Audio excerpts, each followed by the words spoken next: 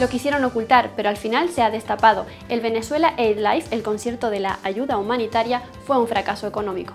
Iban a recaudar 100 millones de dólares y nos enteramos que no llegaron a dos. La mitad donada por un solo artista.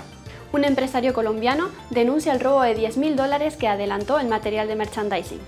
Y un reportaje de Pan Am Post prueba que colaboradores del opositor Juan Guaidó se quedaron con 90.000 dólares destinados a la ayuda a militares desertores. Por cierto, Miguel Bosé, Michelle Bachelet ya ha estado en Venezuela. ¿Por qué sigues tan callado?